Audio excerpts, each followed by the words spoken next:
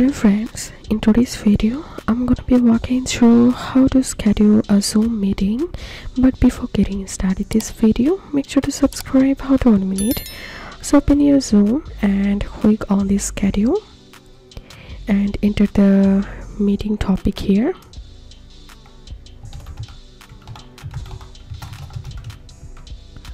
And select the meeting starting date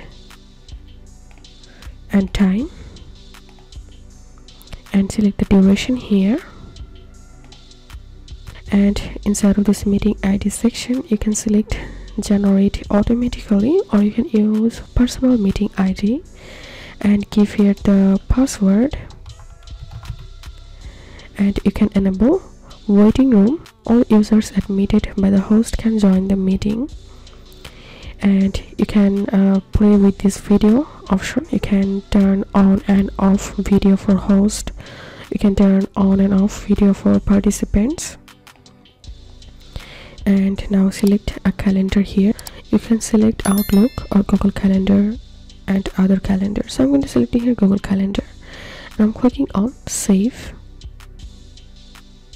And i'm going to meetings section. And here you can see I've successfully scheduled a new meeting in my Zoom.